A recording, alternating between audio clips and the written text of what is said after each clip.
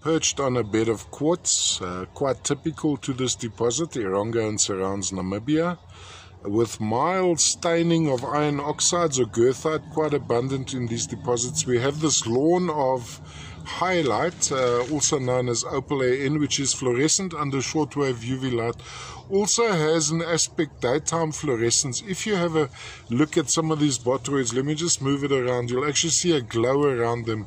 Okay, this one is slightly underexposing. Let me move it across this way.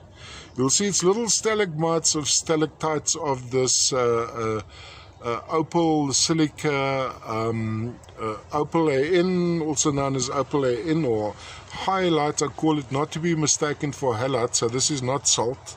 Quite different to material from uh, Mexico, for instance, uh, in associations.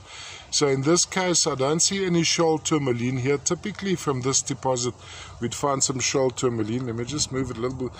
I think if you if you zoom into my still pictures on eBay, magnificent material.